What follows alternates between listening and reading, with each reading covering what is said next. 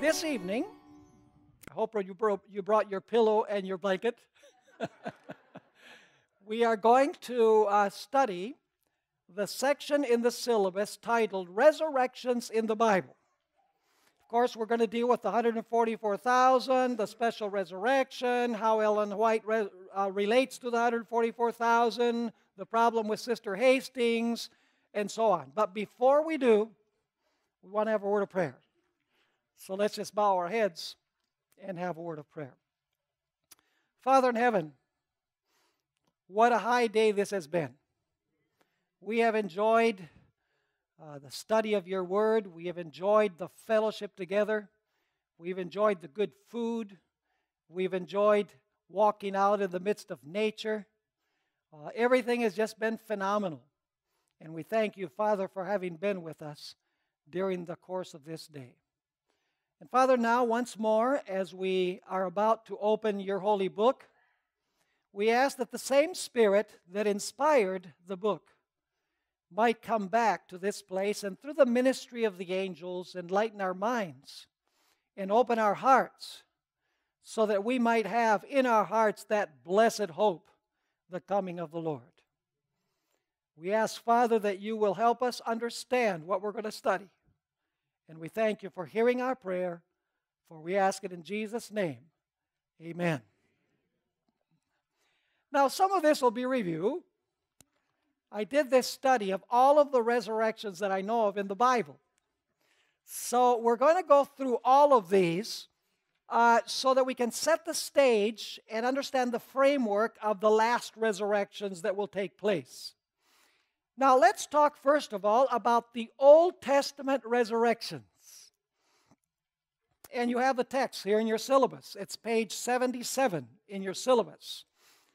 By the way, some of you have been asking, those of you who uh, did not register for the full seminar, if we have this syllabus available.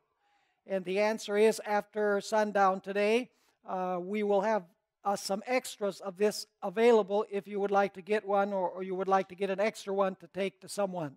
So they will be available. Uh, meanwhile, those of you who do have, if you have somebody next to you, uh, make sure that you share the syllabus so that they can follow along as well. The first Old Testament resurrection that we know of is the resurrection of whom? The resurrection of Moses. Now, you'll notice that in this section there are three texts.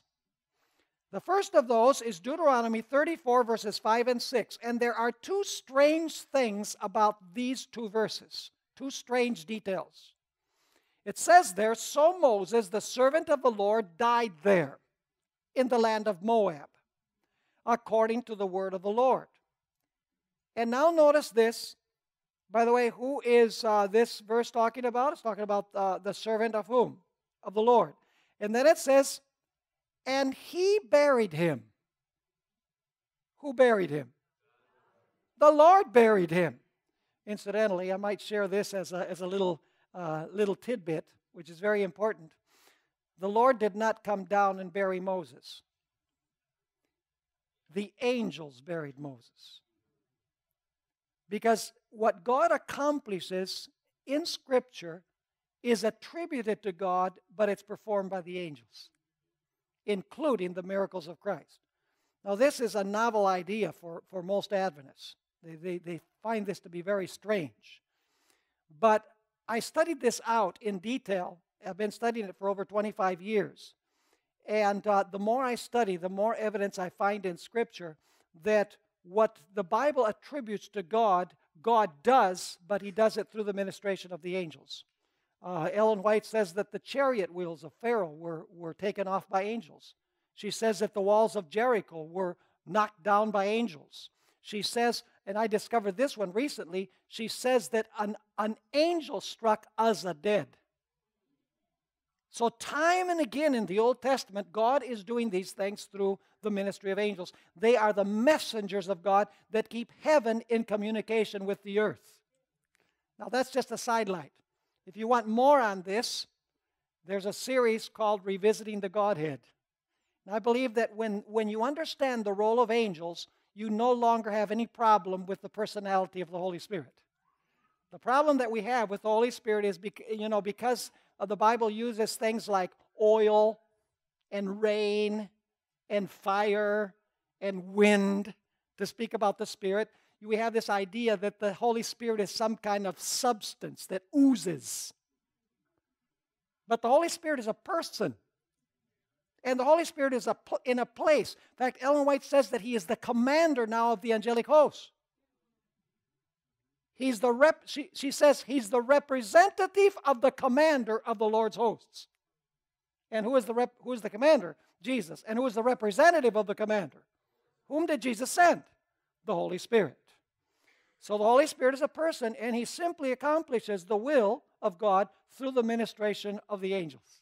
It's a tremendous concept. Anyway, that's not the point. So it says, He buried him, the Lord buried him, in a valley in the land of Moab, opposite Beth Peor. And now notice another anomaly. And no one knows his grave to this day. That's unusual because the Hebrews marked the graves of their heroes. Abraham was buried in the cave of Machpelah.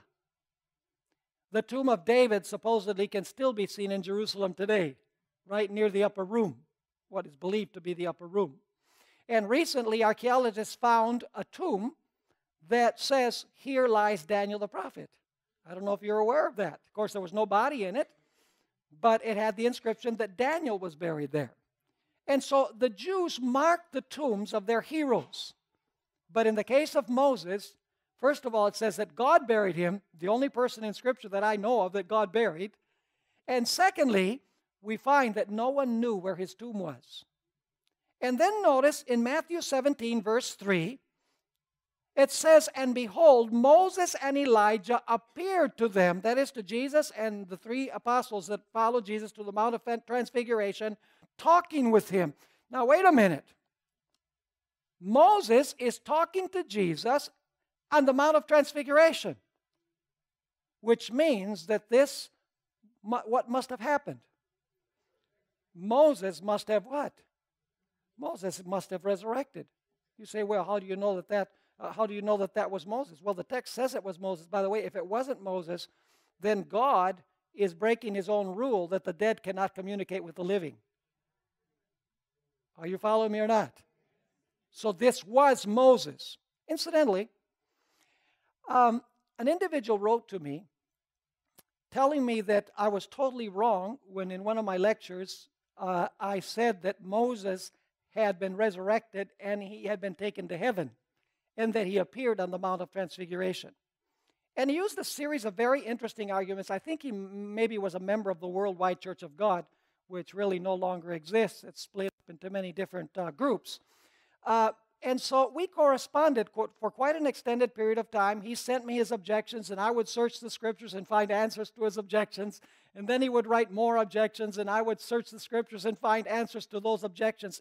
If any of you would be interested in having a copy of that correspondence, I'll be glad to share it with you because you will meet people that will say that Moses was not resurrected, that what happened on the Mount of Transfiguration was that Jesus received a vision but it was not Moses. And by the way, this individual also had all sorts of arguments to say that Elijah was not taken to heaven and that Enoch was not taken to heaven.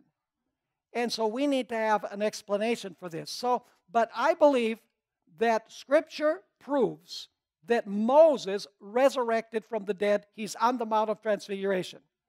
Now, when we connect this with Jude 9, it becomes very clear. Let's read uh, Jude, actually, I should have included this. Well, it is there. Jude 9 says, Yet Michael the archangel, who is Michael? Now, we need to make it clear to people that when we say Jesus is Michael, it doesn't mean that, that like the Jehovah's Witnesses, that Jesus is the first angel created by God. We need to let people understand that, that Jesus is Michael the archangel, but he's eternal God. Our view is, is different uh, than the Jehovah's Witness. So it says, Yet Michael the archangel, in contending with the devil, when he disputed about what? The body of Moses. So what is Michael doing? He's fighting with the devil over what? The body of Moses. And I say this reverently. Do you suppose that God is a heavenly vulture fighting, fighting over dead flesh? Had Michael come to fight over a dead body? Absolutely not. So it says here when he disputed about the body of Moses, dared not bring against him a reviling accusation, but said, The Lord rebuke you. Now, the text that we need to connect with this one is 1 Thessalonians 4, verse 16 which is describing the second coming of Christ. And I want you to notice the terminology that is used in 1 Thessalonians chapter 4 and verse 16. For the Lord himself, who is this person? Jesus. For the Lord himself will descend from heaven with a shout, with the voice of, oh, interesting, with the voice of an archangel. Which archangel? the only one that we find in Scripture. Michael is the only archangel mentioned in Scripture. Gabriel is a, is a cherubim, but he's not an archangel. And so it says, with the voice of, an archangel and with the trumpet of God. And what does Michael come to do here? What does uh, the archangel come to do in 1 Thessalonians 4? And the dead in Christ will rise first. So, is there biblical evidence that um, very clearly Moses was resurrected by Jesus Christ and that Jesus Christ is the archangel. Yes, because when Jesus comes, he comes with the voice of what? Of the archangel. So that's the first resurrection in the Old Testament. Now let's go to the second resurrection in the Old Testament, the son of the widow of Zarepta. 1 Kings chapter 17 and verses 17 and verses 21 and 22 chapter 17, verse 17, and then 21 and 22. Now it happened after these things that the son of the woman who owned the house became sick. And his sickness was so serious that there was no breath left in him. Was he dead? Absolutely. Verse 21 And he stretched himself out on the child three times and cried out to the Lord and said, O Lord my God, I pray let this child's soul come back into him. The word soul there is nephesh. It is translated many times in the Old Testament life. It does not say immortal conscious soul, it says his soul. And perhaps I might be able to say something about Bible versions. I've said this at 3ABN, but I'll say it here as well. Some people say if the King James was good enough for Christ, it's good enough for me. In other words, there are those who are King James only. Now, let me explain my point of view concerning versions. I believe that the manuscripts from which the King James Version was translated are the best manuscripts, the Textus Receptus. But I do not believe that the King James translation is always the best translation of those manuscripts. The translation of the King James is not inspired. There are mistakes of translation in the King James Version. There are many mistakes in the translation, for example, of words that have to do with the state of the dead. For example, the Old Testament word, Sheol. And the New Testament equivalent in Greek is the word Hades or Hades. The King James, in almost every single reference, translates the word Sheol or Hades, hell. And that creates a huge problem for us. For example, Job says, If I descend to hell. So Job went to hell. No. Because then he speaks about being like a, like a jar of clay and returning to the dust.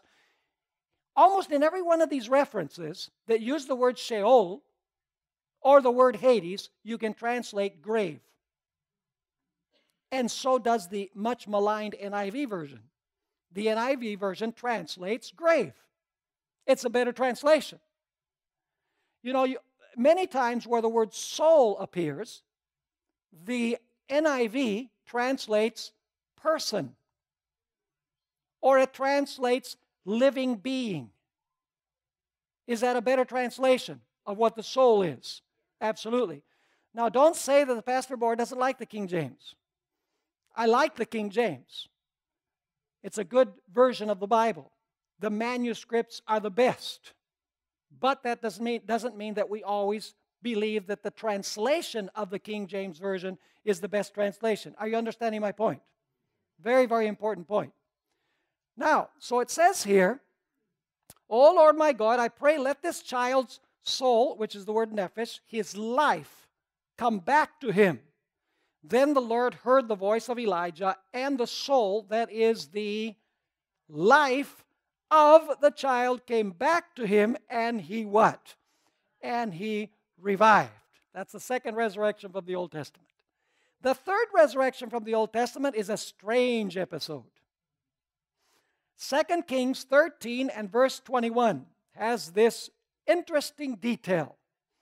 And we need to realize that Elisha is a type of Christ. There's the key. Elisha is a type of Christ.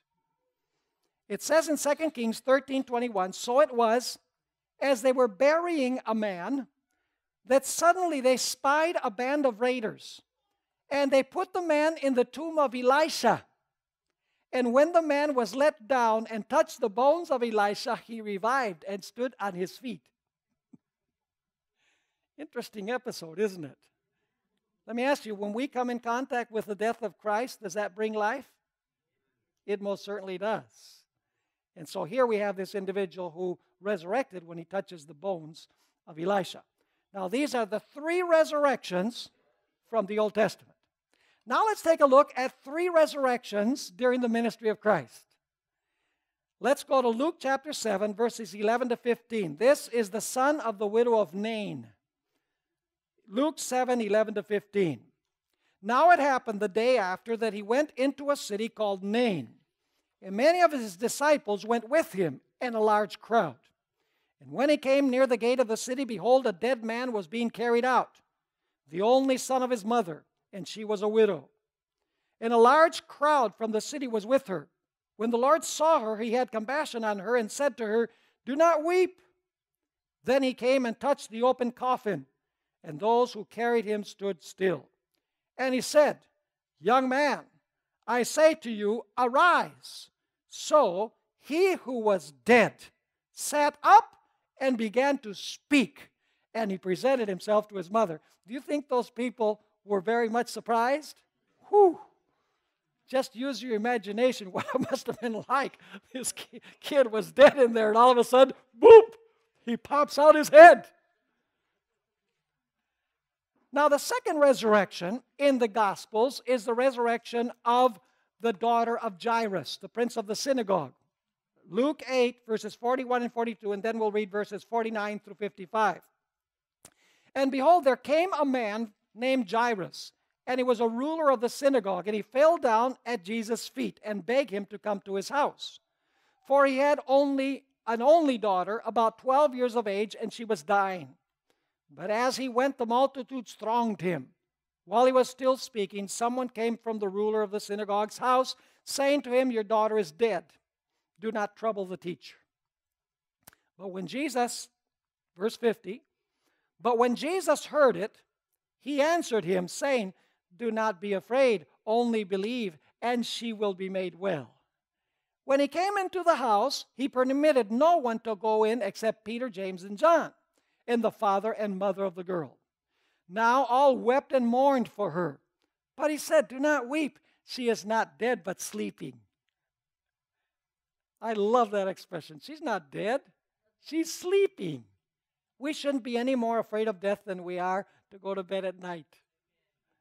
Verse 53 And they ridiculed him, knowing that she was dead. But he put them all outside, took her by the hand, and called, saying, Little girl, arise. Then her spirit returned, and she rose immediately and he commanded that she be given something to eat. So, this is the second resurrection in the New Testament. Let's go to the third. You know about this one. I'm not even going to read a verse. You, it's, it's covered in the whole chapter, chapter 11 of the Gospel of John. Uh, and I want you to notice the comment by Ellen White in Selected Messages, Volume 1. You should have that, Volume 1, page 304. She says, During his ministry, Jesus raised the dead to life. he raised the son of the widow of Nain, the daughter of Jairus, and Lazarus. But these were not clothed with immortality. After they were raised, they continued to be what? To be subject to death. So, did they die again? If any of these people are lost, they'll die three times. we won't get into that. Now, there's also one more resurrection that we find in the book of Acts, Acts chapter 20. You remember the Apostle Paul? He began preaching after sundown and he preached till after midnight. You think I'm long winded. you don't know the Apostle Paul. You really had to bring your pillow and your blanket for the Apostle Paul. What happened with Eutychus? He was sitting in a window, uh, probably on the second floor. he went to sleep. Shame, shame. It wasn't Paul's fault. You know, he goes to sleep and he falls out of the window and he's dead. Now, notice what happens in Acts 29 and 10. And in a window sat a certain young man named Eutychus who was sinking into a deep sleep. he was overcome by sleep. And as Paul continued speaking, he fell down from, oh, it was actually a third story. He fell down from the third story and was taken up dead. But Paul went down, fell on him, and embracing him said, Do not trouble yourselves, for his life is in him. So, what happened with Eutychus? he resurrected. Did he die again? All of these individuals died again. They were not raised to immortality. So we have three resurrections in the Old Testament, we have three resurrections in the Gospels, and we have one resurrection in the book of Acts. Now you say, wait a minute, there's another resurrection in the Gospels. Yes, this is a special resurrection. That's our next section. New Testament resurrection of people who did not die again. See, there's the difference. All the ones we've studied so far died again. But these did not die again. Notice Matthew 27 51 through 53. This is when Jesus said, It is finished. Into your hands I commend my spirit. It says there, Then behold, the veil of the temple was torn in two from top to bottom, and the earth quaked and the rocks were split, and the graves were opened, and many bodies of the saints who had fallen asleep were raised. Notice, fallen asleep, that's interesting. Fallen asleep were raised, and coming out of the graves when? After his resurrection, they went into the holy city and appeared to many. Now, what was the function of this resurrection? What was the purpose? Each one of these resurrections has a special and particular purpose. What was the purpose of this resurrection? Actually, the purpose was twofold. Number one, so that they could go forth and they could proclaim that Jesus had resurrected. That's one. And secondly, they would be taken by Jesus 40 days after his resurrection into the presence of the Father as a down payment or a sample of the general resurrection at the end of the age. In fact, let's notice this statement from Ellen White on Matthew 27 51 to 53, Selected Messages, Volume 1, and pages 304 and 305. She says, But those who came forth, this is a continuation of the statement that we read just a little bit earlier. But those who came forth from the grave at Christ's resurrection were raised to everlasting life. They were the multitude of captives that ascended with him as trophies of his victory over death and the grave. You see, this is reflecting a custom in antiquity. When a king went and he conquered a city, do you know what he would do?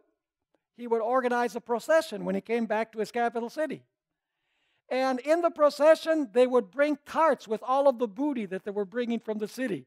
And then also with chains, we have archaeological pictures of this, with chains around their necks were the captives that he had brought from the city that he had conquered. See, that's a custom in antiquity. And so Jesus came and he ransacked the kingdom of the devil. and he's going to bring back these captives that he rescued from the grave at the moment of his resurrection. Now it's interesting. There are two Hebrew feasts that we need to take a look at in conjunction with uh, the resurrection of this group. And by the way, the resurrection of Jesus Christ as well. The first feast is the Feast of the First Fruits.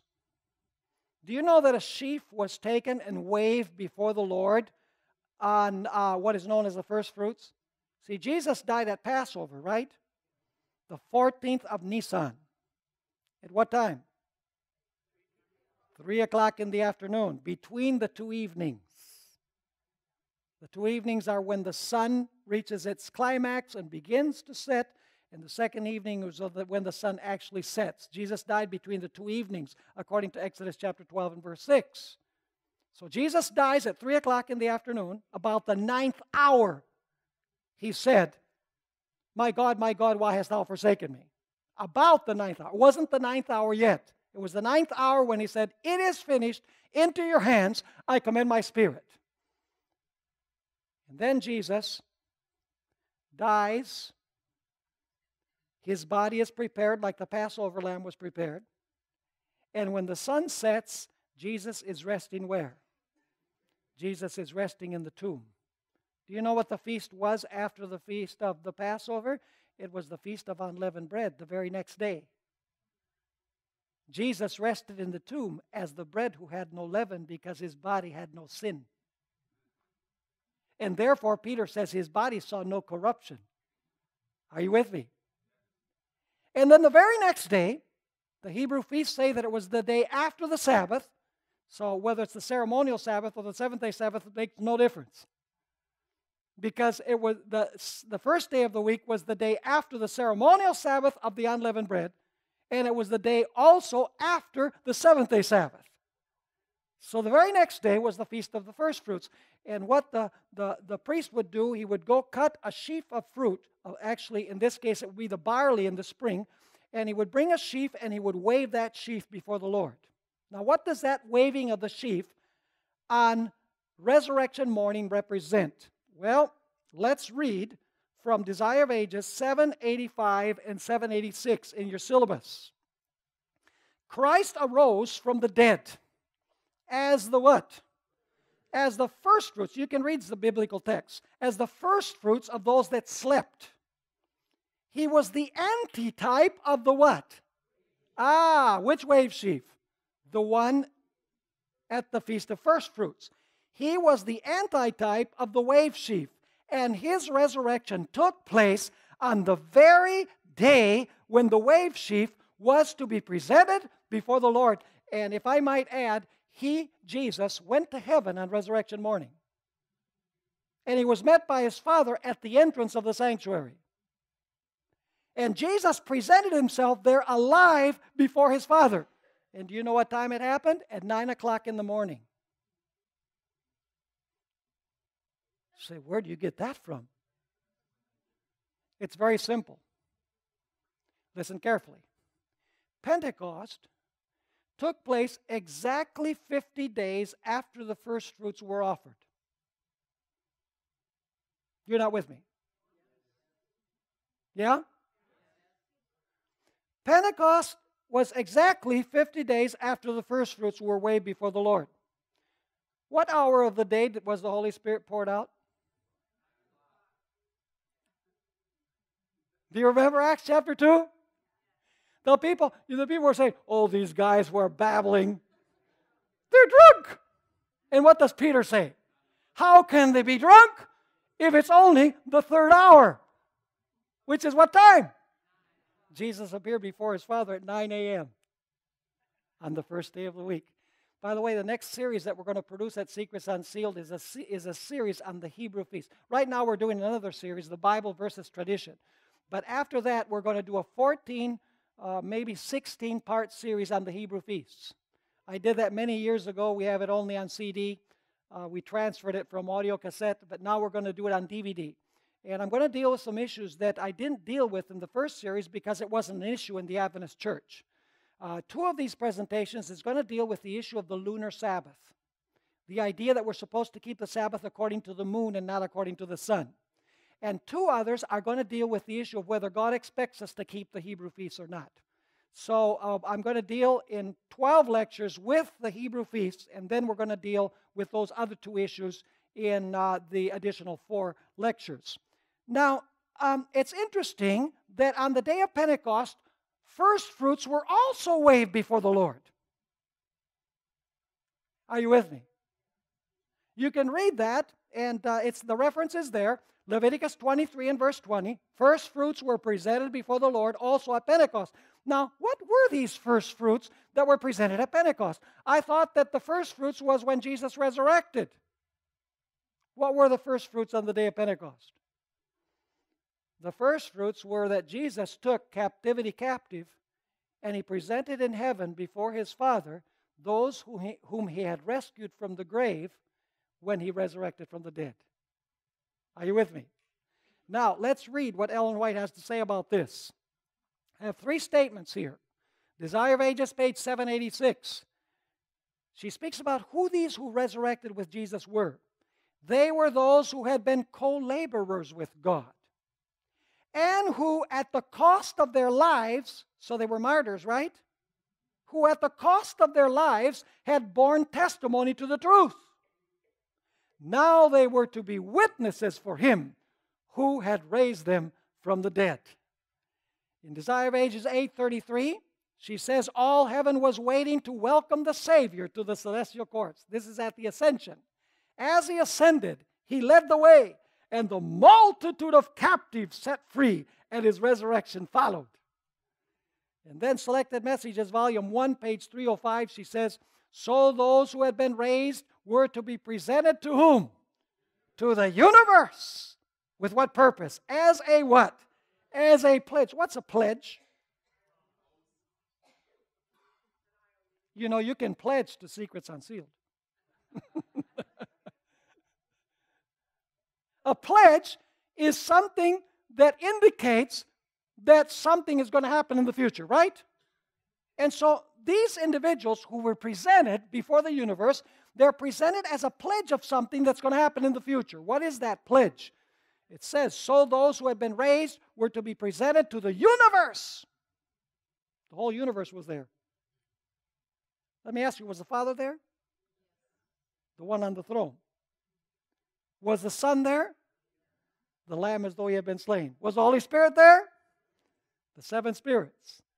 Were the cherubim and seraphim there?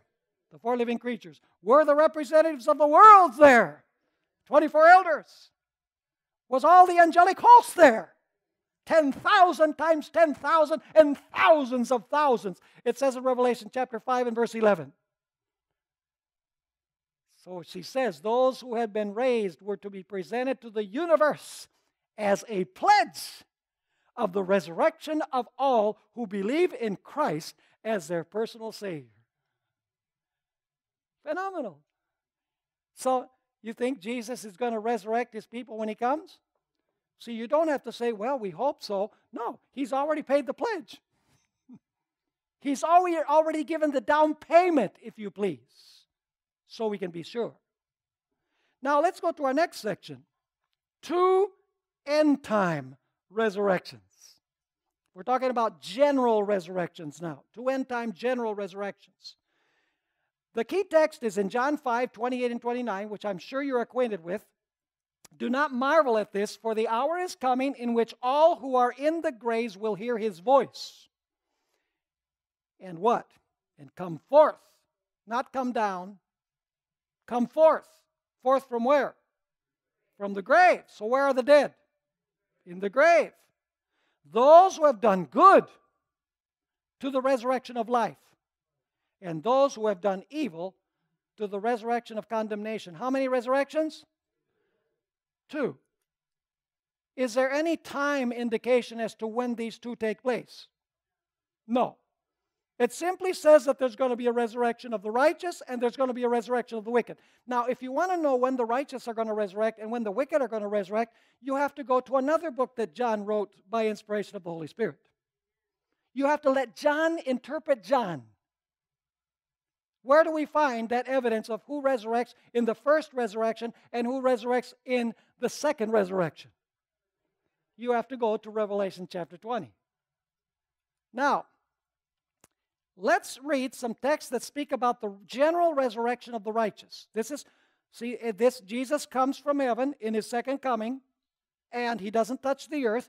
Uh, it takes several days for him to come down from heaven. When he's above the earth, when he's arrived and he's above the earth, then you have the general resurrection of the righteous. In a few moments, we're going to come to the special resurrection that takes before that, place before that.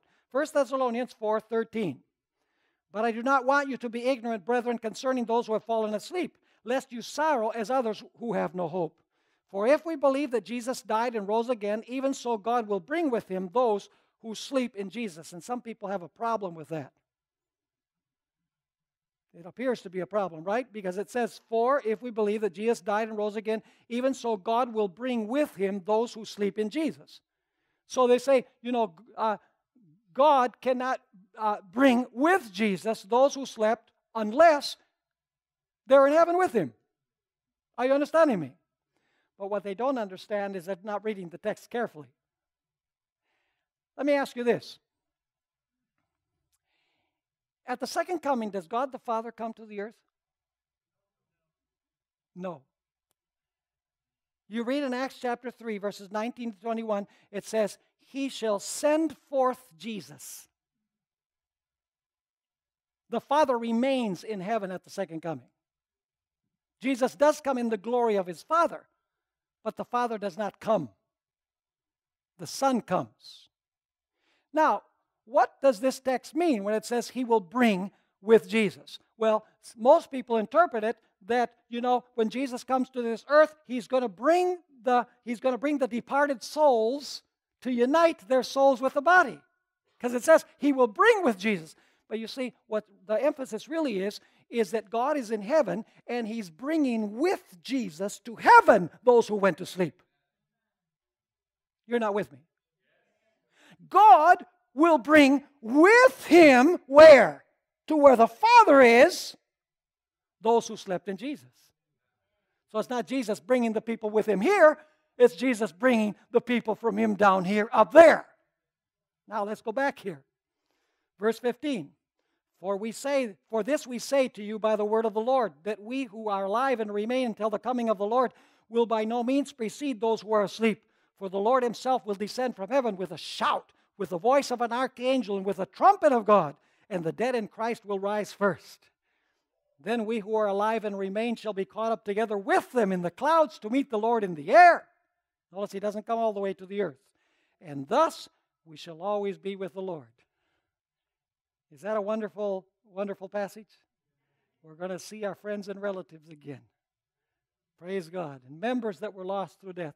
You know, my church at Fresno Central, um, has a turnover of probably about 80%. I inherited a very old church. And most of those who were at the church when I came there are dead. I've done many, many funerals, but the Lord has brought several new members to the church, both by transfer and also by baptism, uh, and people that have, that, you know, that have come out of the woodwork. The, the church has not suffered numerically or spiritually because the Lord has been there to replace the, the beloved saints who have passed away. I look forward to meeting many of those people who were old when I arrived. I want to see what they were like when they were young. I might not even recognize them. But I look forward to that day. It's going to be a wonderful day. 1 Corinthians 15 51 to 55. Behold, I tell you a mystery. We shall not all sleep, but we shall all be changed in a moment, in the twinkling of an eye, at the last trumpet. For the trumpet will sound, and the dead will be raised incorruptible, and we shall be changed. For this corruptible must put on incorruption, and this mortal must put on immortality. So when this corruptible has put on incorruption, and this mortal has put on immortality, then shall be brought to pass the saying that is written Death is swallowed up in victory. O death, where is your sting? O Hades, where is your victory? Powerful resurrection passage. Now, if we must put on immortality, then we're not immortal. And if we must put on incorruption, that means that we are corruptible. It's that simple. It's, you don't have to be a rocket scientist. to figure out what this text is teaching. Revelation 20, verse 4. And I saw thrones, and they sat on them. These are those who resurrected. They sat on them, and judgment was committed to them. Then I saw the souls of those, and I deal with this in the State of the Dead series. We don't have time to get into the idea of the souls. But it says, Then I saw the souls of those who had been beheaded for their witness to Jesus and for the word of God, who had not worshipped the beast or his image, and had not received his mark on their foreheads or in the, on their hands. Uh, are there some people that are going to go through the period of the beast, his image, and his mark that will be martyred? Before the close of probation. There will be martyrs according to this passage. Because it says very clearly here that, th- that there was a group of those who did not worship the beast or his image and did not receive the mark on their foreheads or on their hands, they were martyred. Because it continues saying, and they what? And they lived, which must have meant that they were killed, and reigned with Christ for a thousand years. So when do they resurrect? Before the thousand years or after the thousand years? Well, they can't reign with Jesus a thousand years unless they resurrect at the beginning of the thousand years. And so they resurrect in what the Bible calls what? The first resurrection. And then notice it says, This is the what?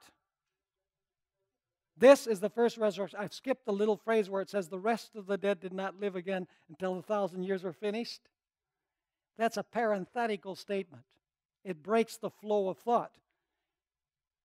The NIV is better because the NIV puts parentheses around that aspect. The rest of the dead did not live again until a thousand years were finished. Who must the rest of the dead be?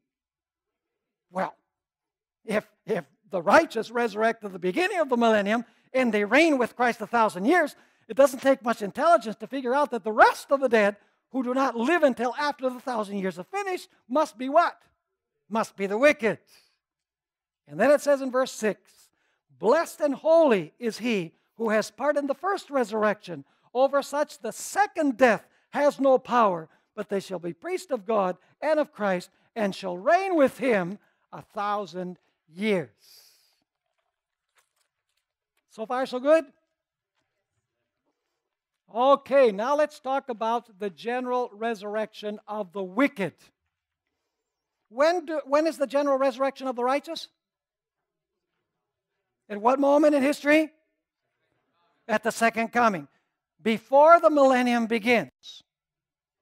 And they're taken to heaven and they're going to perform a work of judgment. They're going to reign with Christ. They're going to be priests with Christ. They're going to have some priestly activities because we're going to be examining the books. That will be our priestly activity with Christ. Now, let's talk about the general resurrection of the wicked. We have several texts. Revelation 2, verse 11. It's on page 80 of your syllabus. He who has an ear, let him hear what the Spirit says to the churches. He who overcomes shall not be hurt by what? By the second death. Now let's take a look at this issue of the second death. Second death is always spoken of as occurring after the millennium. Always. It's after the millennium. And there's a reason for that. Let's talk first of all, first of all about the righteous. An individual is born from, from his mother or from her mother, and they live for the first time, right? That's their, so to, so to speak, their first life. Then it's supposing that before Jesus comes, they die. Which death would that be? That would be their first death. When Jesus comes a second time, he will resurrect those who were faithful, and that is what? They return to life, so what life would that be? That would be their second life. Are they going to suffer second death? No. They resurrect to live forever. The wicked are different. Because the wicked also were born from their mothers the first time to their first life. They lived their wicked life. They died their first death. And then they resurrected to their second life, second stage of life, and then what do they suffer? You cannot suffer second death unless you have suffered first death first. Are you with me? Now, let's go here to another couple of texts. Revelation 20, verse 5. this is a part I left out of the previous passage. It says, But the rest of the dead did not live again until the thousand years were finished. Revelation 20, verse 14. Notice it says, Then death and Hades were cast into the lake of fire. When is the lake of fire? Before the millennium or after the millennium? After the millennium. So when are death and Hades or the grave cast into the lake of fire? After the millennium, it says this is the what? The second death. And then Revelation 21, verse 8 says, But the cowardly, unbelieving, abominable, murderers, sexually immoral, sorcerers, idolaters, and all liars shall have their part in the lake which burns with fire and brimstone, which is the what? Which is the second death. So when do the wicked resurrect? After the thousand years. And what do they suffer after they behold their life of sin and that God has been righteous in condemning them to be outside the holy city? They're destroyed in the lake of fire, which is what? Which is the second death. In other words, they will die for the second time and they will live no more. Now we've come to the point that we wanted to get to the special resurrection. Now, there is a special resurrection that is going to take place before Jesus arrives at his second coming. First of all, there's going to be a group of wicked people, a special group of wicked people that are going to resurrect. Let's notice the Bible foundations for that idea. Matthew 23, 37, and 38. Matthew 23, 37, and 38. We read this last night. It says, or yesterday, O Jerusalem, Jerusalem, the one who kills the prophets and stones those who are sent to her. How often I wanted to gather your children together, as a hen gathers her chicks under her wings, but you were not willing. See, your house is left to you desolate.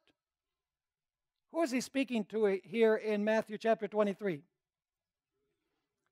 He's speaking primarily to the religious leaders, the scribes and the Pharisees. This is the conclusion of the, of the woes on the scribes and Pharisees, the religious leaders. And then notice what he says For I say to you, you shall see me no more till you say, Blessed is he who comes in the name of the Lord. Are they going to see the second coming of Christ? Absolutely. Jesus said so. Now, Ellen White quotes this verse. Don't you think that they're going to say, Oh, we accept you, Jesus. Blessed are you who comes in the name of the Lord. No, Ellen White says that this is forced out of their lips. Because now they see Jesus differently than when they were when they were mistreating him and leading him to the cross. Matthew 26, 64. This is when Jesus appears before the Jewish Sanhedrin. And he's speaking to Caiaphas. Jesus said to him, It is as you said. Nevertheless, I say to you, hereafter you will see the Son of Man sitting at the right hand of the power and coming on the clouds of heaven. Are those who pierced Jesus, those his enemies that led him to his crucifixion, are they going to see the second coming of Christ? Of course. Do they have to be alive to see the second coming of Christ? Of course. Notice Revelation 1, verse 7, and there's, you can also find this in Matthew 24, verse 30. It says, Behold, he is coming with clouds, and every eye will see him. Even whom? Even they who pierced him. And all the tribes of the earth will mourn because of him. Even so, amen. Is there a biblical foundation to teach that those who crucified and mistreated Jesus are going to resurrect in a special resurrection to see the second coming of Christ? Yes, and by the way, how do you know that this is just a special group of resurrected people? Simply because Revelation, we've already studied, says that the general resurrection of the wicked is after the millennium. Is that right? So, must this be a special group? This has to be a special group. It can't be the general resurrection of the wicked to see the second coming because that takes place when? It takes place after the millennium. So, the Adventist position is rock solid. Now, we need to deal with the special, res- special resurrection of those who died in the faith of the third angel. That would be beginning which date? Around which date? 1843, 1844, right in that period. Now let's read that verse. Then I heard a voice from heaven saying to me, Write, blessed are the dead who die in the Lord from now on. Is this uh, the, the resurrection of all? This is talking about all of the people who have died, they're blessed. All of the righteous who have died are blessed. Nope. It says clearly, Blessed are the dead who die in the Lord from now on. From that point on. Now we're going to notice what that point is. Yes, says the Spirit, that they may rest from their labors and their works follow them. Now let's take a look at several details concerning this verse, the context in which it appears. This is very important. This text comes immediately after the third angel's message. Is that significant? This verse that we just read comes immediately after the verse that concludes the third angel's message. Here is the patience of the saints. Here are they who keep the commandments of God and the faith of Jesus. In other words, the third angel's message ends, and then it says, Blessed are those who die in the Lord from now on. So, do they die in the third angel's message? And you thought that we needed to use Ellen White for that. We don't have to use Ellen White as a crutch. See, one reason why people one reason why people reject Ellen White is because many times we prove things from the writings of Ellen White without proving it from Scripture. Now, am I saying that we don't respect and love the writings of Ellen White? Oh, no. Do you know? I work two ways. Sometimes I go to the writings of Ellen White and I read and I said, Ellen White, where did you ever get this from the Bible? I always ask that question. When she says something that I haven't uh, really understood before, I say, now I'm going to go to the Bible and see where she's coming from. Because I have to prove this from the Bible to people who are not Adventists. But I also do it the other way around. Sometimes I go to the Bible and I find something in the Bible that is somewhat confusing. And so I say, I wonder what Ellen White has to say about this. And so I go to find out what Ellen White has to say. And then when I read what she says, I say, oh, that's interesting. That provides a little guidance for me. And then I go back to the biblical text. And I study the biblical text and other verses that Ellen White brings to view, and I find that she's in perfect harmony with Scripture. It's amazing. You know, what I've always told people when I speak about the spirit of prophecy, I said, don't get your opinion of someone from their friends or from their enemies. Don't get your opinion of someone from their friends because they'll make them look better than they are. And don't get your perspective of someone from their enemies because they'll make them look worse than they are. You go and get acquainted with them personally. And so I say, don't go to the internet. Don't go to the White Estate websites or to all of these websites that are trying to destroy the writings of Ellen White and her inspiration and her prophetic gift. Go and read the books for yourself. And there's two kinds of people that, that are not benefited by the writings of Ellen White. Uh, number one are those who come to the writings of Ellen White with the purpose of proving her wrong. If you come to the writings of Ellen White already believing that she's wrong, you will not be blessed. And then there are those that don't read her and that they're very critical. If you don't read her writings, you have no right to criticize. You go and you examine the scriptures. Now, so the first point is this text comes immediately after the third angel's message. Now listen carefully, and immediately before the second coming. Because the very next verse speaks about Jesus sitting on a cloud, and he has a sickle in his hand, and he's coming to harvest the earth.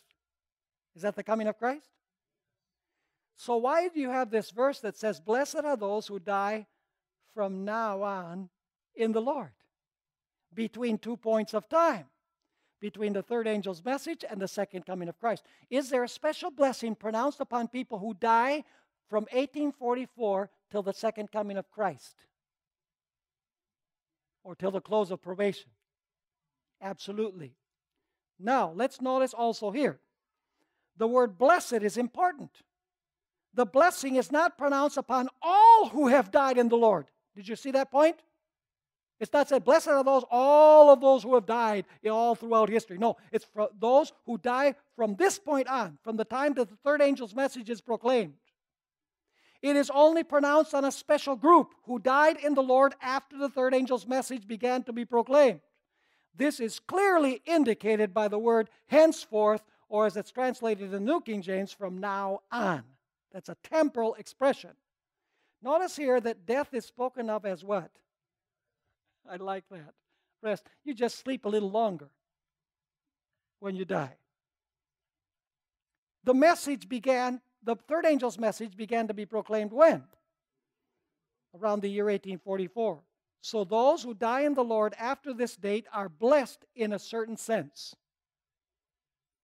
Now, the next statement might appear revolutionary. No Seventh day Adventists who are saved will come forth in the general resurrection all will come forth in the special resurrection. All those who died after 1844. Now you say, why, why would Jesus do that? Why doesn't he resurrect all the righteous from before also? Let me explain the reason why. Do you think that if Martin Luther, to use a hypothetical example, if Martin Luther resurrected in the special resurrection, when God's people are delivered at the end from the death decree, from the papacy and from apostate Protestantism and from all of these things that are happening, do you think Martin Luther would be able to understand what's happening? Do you think? He wouldn't have the foggiest idea because he didn't understand. He never studied about the beast, about his image, about the mark. So if Martin Luther or any of the people who died before resurrected, they would be out of context. They wouldn't understand what's going on. But let me ask you Adventists who have studied and resurrect at that moment, do they know exactly what's going on at that moment? You better believe they do because they know about the beast and they know about the false prophet and they know about the image and they know about the issue of Sabbath and Sunday observance and they know that the religious leaders are going to suffer what we talked about this morning. Are you understanding me? And so, because God's people have understood this, Jesus says, I'm going to reward their knowledge. I'm going to resurrect them so that they can see the moment of deliverance. Praise the Lord. I'm glad I was born in this generation. now, let's go to page 81. Daniel 12, 7, 11, and 12. We're not going to read these text, but I'm going to make some remarks about them. Some have attempted to make these time periods, the 1260, 1290, and 1335, uh, they've tried to understand them as literal time in the future.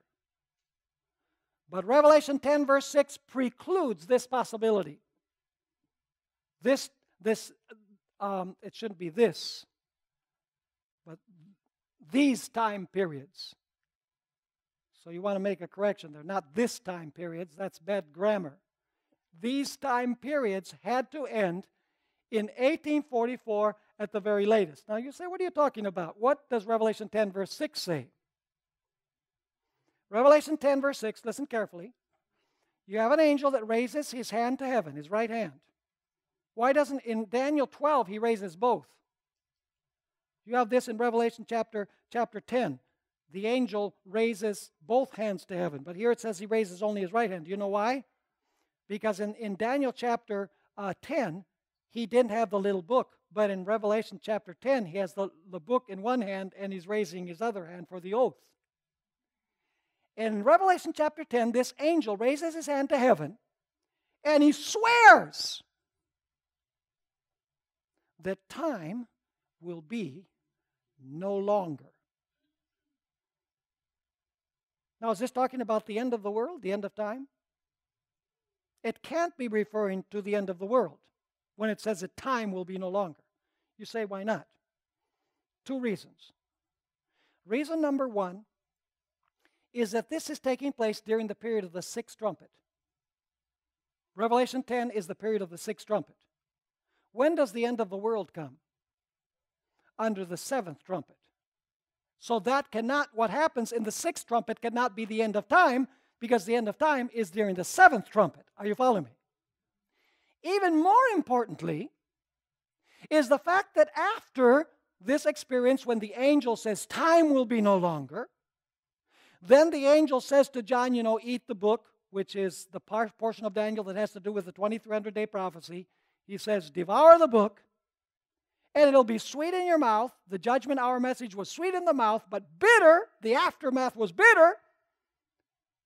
Then the angel says to John, You must go and you must prophesy again.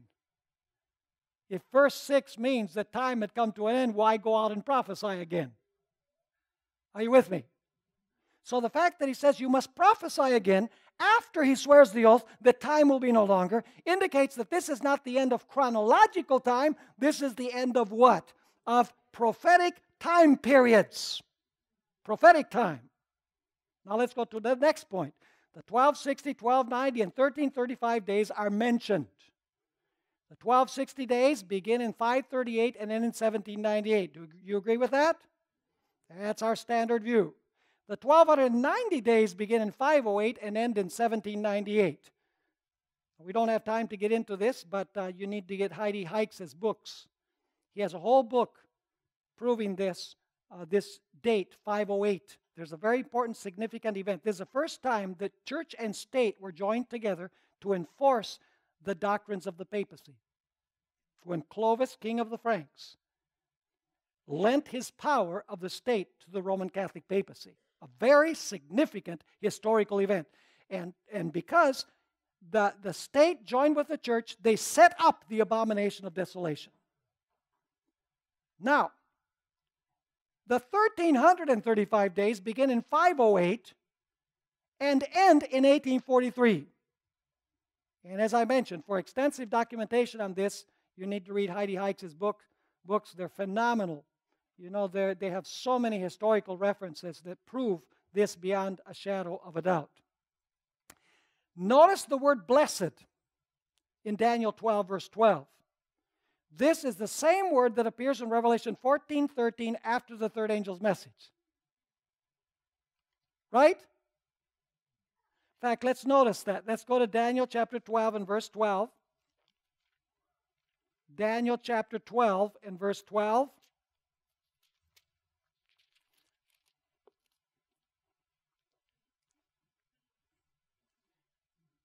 Let's read verse 11 for the context. And from the time that the daily is taken away and the abomination of desolation is set up, there shall be 1,290 days. We already spoke about that. Blessed, notice, blessed is he who waits and comes to the 1,335 days, which is around what year? 1843? 1844. Why are they blessed according to what we read in Revelation chapter 14, verse 13? Because they will resurrect in what? In the special resurrection. Allow me to read you some statements from Ellen White, because some people are applying these time periods uh, and they're saying that these are literal prophetic time periods, and they're setting dates for the national Sunday law and the international Sunday law and the beginning of the time of trouble. So notice these statements from Ellen White. And, and I have, by the way, seven pages of statements from Ellen White on the dangers of date setting. If you find anybody that's setting dates, run from them because God has not led them to teach. And we have some in our own midst in the Adventist church. One of them, actually quite recently, found deep prophetic significance to the seven years of famine and the seven years of plenty in the days of Joseph. And he actually says that the seven years of plenty was from 2001 to 2008. Yeah. And then he says in the first two years, you know, people people lost their possessions and, and then they sold their soul basically to the government. He says that's what we see happening today. Because we're in the seven years of famine.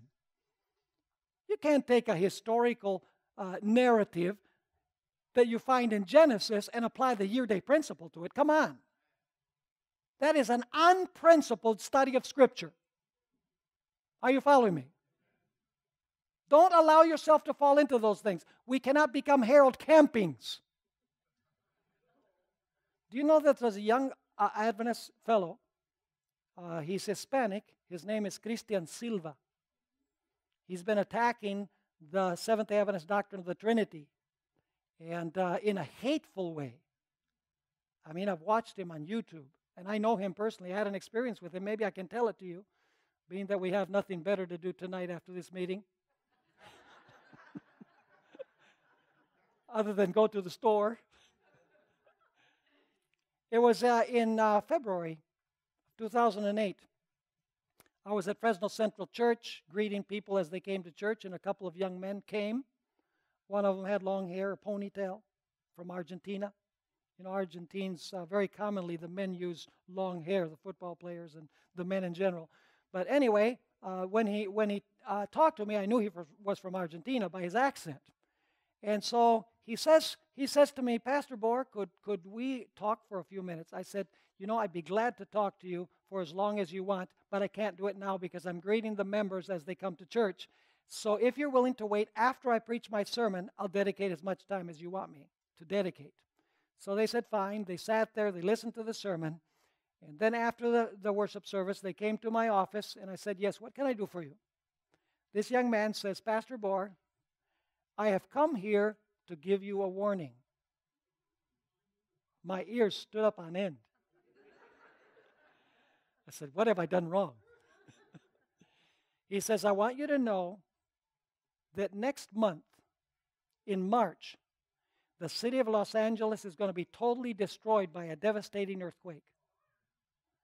And in April, this is 2008, in April, there's going to be a national Sunday law in the United States. And I looked at him in my usual diplomatic way. and I pointed my finger at him and I said, You're a false prophet.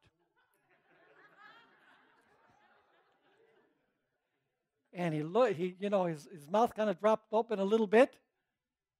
And he says, Why? I said, Because the Bible and the Spirit of Prophecy says that there's no more prophecies relating to specific time especially not the Sunday law, Ellen White says, or the close of probation, or the second coming, or the outpouring of the latter rain. He says, and he begs me, he says, Pastor, please, please, I'm bringing you this warning. It's going to happen. I said, No, it's not going to happen. I said, Please tell me where I can get in touch with you if it doesn't happen. So he gave me his email. The interview ended. Obviously, Los Angeles was not destroyed in 2008. And there was no National Sunday Law in April of 2008. So, when April had passed, I sent him an email. and I said, What happened with the earthquake in Los Angeles and with the Sunday Law in April? For several months, I never got an answer. But then after several months, I get an email from him and he says, Pastor Bohr, he never answered any of my questions about why this hadn't happened. He says, Pastor Bohr, I've discovered new light. He says, I've discovered that the doctrine of the Trinity is a pagan doctrine, that the Seventh day Adventist Church is apostate.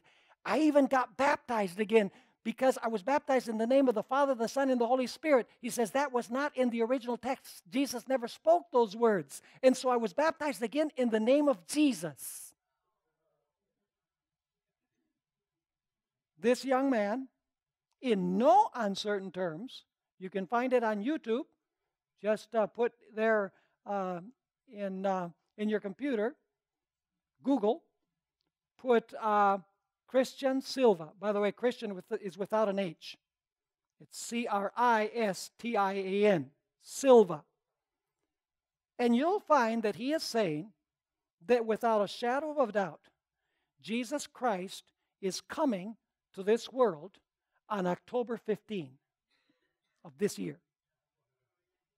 And believe it or not, he has bunches of followers. In fact, a mother called me distressed from, from Venezuela. I've known this. She's a medical doctor. I've known her for, for, for quite a long time. She said, Pastor Bohr, please, could you call my son? Because he's, he's in the midst of this movement. He's deceived by it. So I called her son. And you should have heard him. He, he just begged me. He says, Pastor Bohr, please, please, Jesus is coming October 15. I said, No, he's not. There's too much that needs to still happen. The Muslims are unreached. The Buddhists are unreached. The Hindus are unreached. the Sunday law, the time of trouble, the plagues. There's so many things that still need to take place. I said, besides, no one knows the day or the hour. He says, Oh, but that's talking about the unconverted that don't know the day or the hour. Talk about twisting the scriptures. And he just begged me. He said, Pastor, I want you to be in, in heaven with me on October 16. And I said, I would love to be with you in heaven, but it's not going to be October 16th. And then I said to him, when October 16 comes around and nothing has happened, would you please call me so we can talk some more? He refused to say that he would call and talk to me. Yeah, we have date setters in the Adventist church now. Not to the greater degree, like this fellow, but folks, let's not set dates. All prophetic time periods are finished. Ellen White says there will always be false and fanatical movements made up by persons in the church. Persons where? Oh, in the church, who claim to be led of God, those who will run before they are sent, and will give day and date for the occurrence of unfulfilled prophecy. The enemy is pleased to have them do this, for their successive failures and leading into false lines cause confusion and unbelief. In Manuscript Releases, Volume 10, page 270, she says, Our position has been one of waiting and watching with no time proclamation to intervene between the close of the prophetic periods in 1844 and the time of our Lord's coming. Now, what part of no time proclamation to intervene do you not understand? In the Seventh day Adventist Bible Commentary, Volume 7, page 971, she says the people will not have another message upon definite time. After this period of time, she's referring to Revelation 10, 4 through 6, reaching from 1842 to 1844, there can be no definite tracing of the prophetic time. The longest reckoning reaches to the autumn of 1844. Now, we need to go quickly. Time is up. Should we end? Let's take a vote. Will you give me another 15 minutes? Maybe I need to ask for permission from Eileen, the boss. well, let's go ahead. We'll do this quickly. Daniel 12 and verse 2. Let's read that verse. Daniel chapter 12 and verse 2. First of all, it speaks about Michael. Let's read verse 1 for the context. It says, At that time, Michael shall stand up. We'll deal with that in a few moments. Michael shall stand up, the great prince who stands watch over the sons of your people. There shall be a time of trouble, such as never was since there was a nation, even to that time, and at that time your people shall be delivered, everyone who is found written in the book. Who are those who are delivered, the dead or the living? We studied that this morning, right? Who is delivered? Ah, God's people are delivered from the death decree. And then notice verse 2 And all those who sleep, Is this a general resurrection? No. It says, And many of those who sleep in the dust of the earth shall awake. Not all, many. Are there righteous and wicked among these many? Don't the wicked resurrect after the millennium?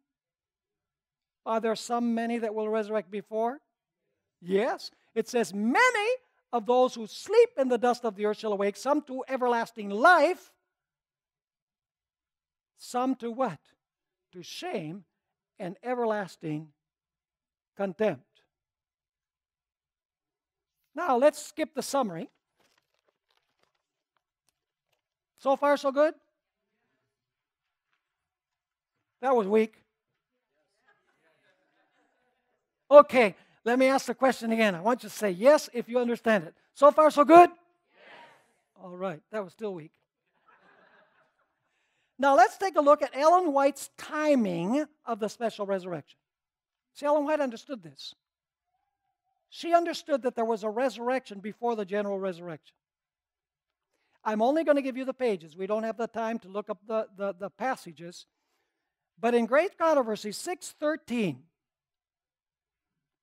she begins that chapter by quoting Daniel 12 and verse 1. What does it mean when it says that Michael shall stand up? Well, Daniel 11, verses 2, 3, and 4 describes standing up as beginning to reign. Let's read that. Daniel 11, verses 2, 3, and 4 says, And now I will tell you the truth. Behold, three more kings will arise in Persia. That word arise is the identical word stand up. So, what does this text mean when it says, Behold, three kings will stand up in Persia? They will begin to what? They will begin to reign. So, when Michael stands up, that means that he's going to begin to what? To reign because his kingdom is made up. Now he's no longer priest, he is what? He is king. You know, someone once facetiously, facetiously said to me, Well, Pastor Bohr, I know Ellen White says that, that Jesus is going to change his priestly robes to his kingly robes. Where do you find that in the Bible? So I answered quite facetiously. And I said, Let me ask you something. What is the function of Jesus in the sanctuary now? What is he doing in the sanctuary? What is his function? He said, Oh, he's high priest. So I said, Good. So how is he dressed? Oh, he's dressed as a high priest, of course, if he's serving as a high priest. So then I had him softened up. And I said, And when Jesus comes, how is he going to be clothed?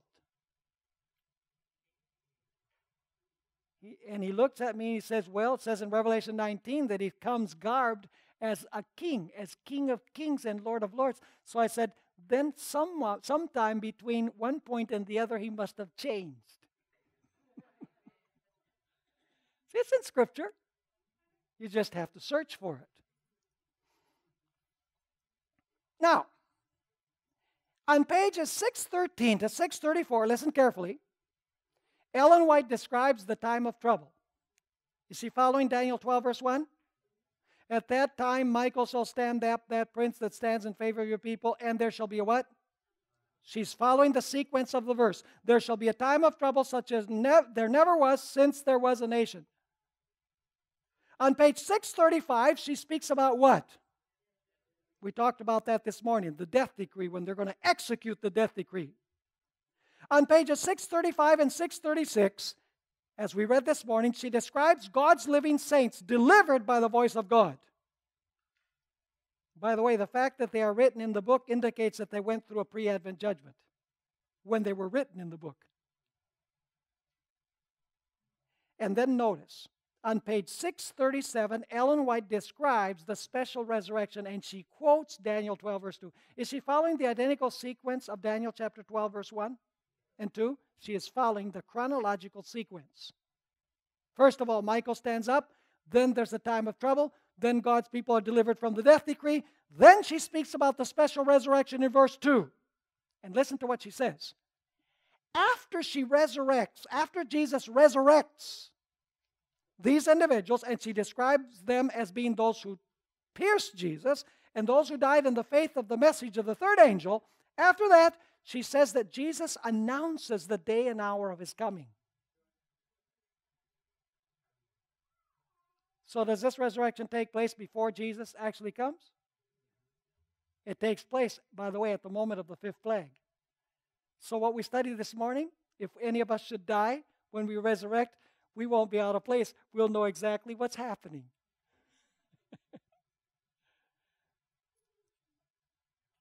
so, on page 640, you have the announcement of the day and hour of the coming of Jesus.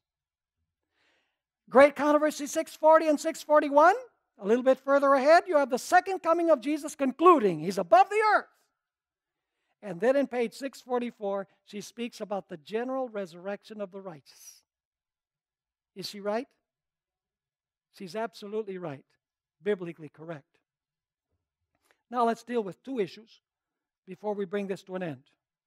Will Ellen White be among the 144,000? No. You say, what do you mean, no? Well, go with me in your syllabus to page 64. Page 64. We're going to read Ellen White's description of the 144,000. And you tell me by the description if Ellen White's going to be in that group.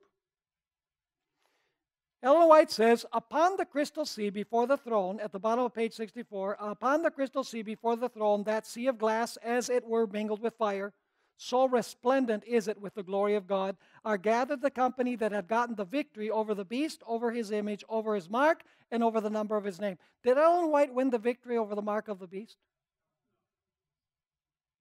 Did she? No, because the mark of the beast has not been imposed yet. Did she refuse to worship the image? Had the image been raised up? Absolutely not. Had all the world wondered after the beast? Absolutely not. She continues saying, With the Lamb upon Mount Zion, having the harps of God, they stand, the 144,000 who that were redeemed from among men.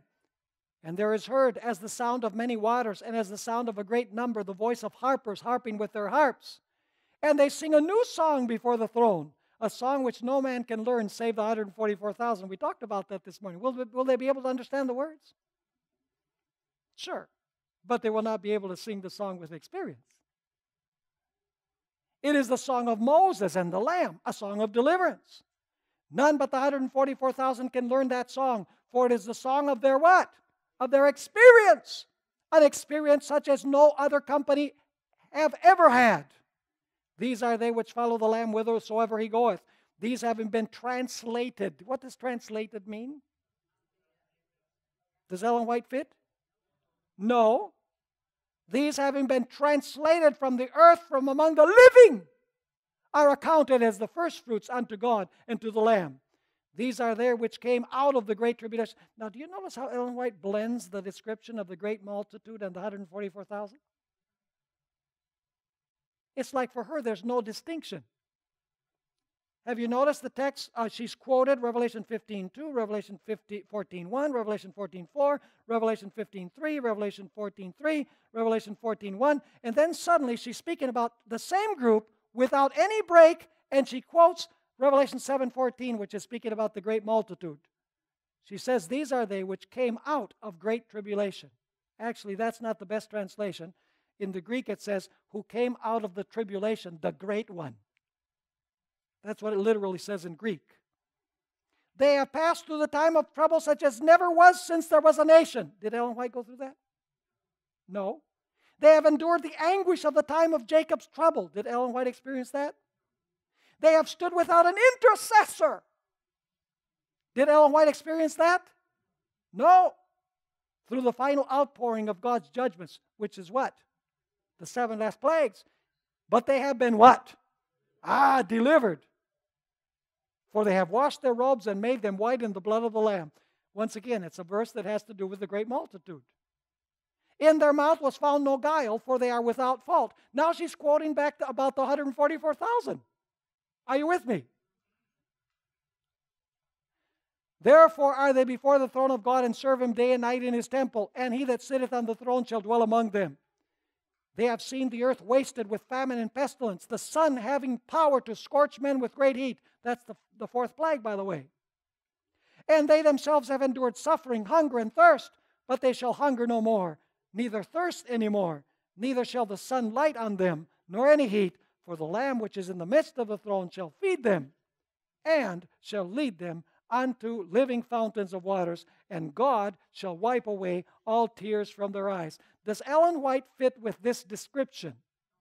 No. Ellen White never says that she will be among the 144,000.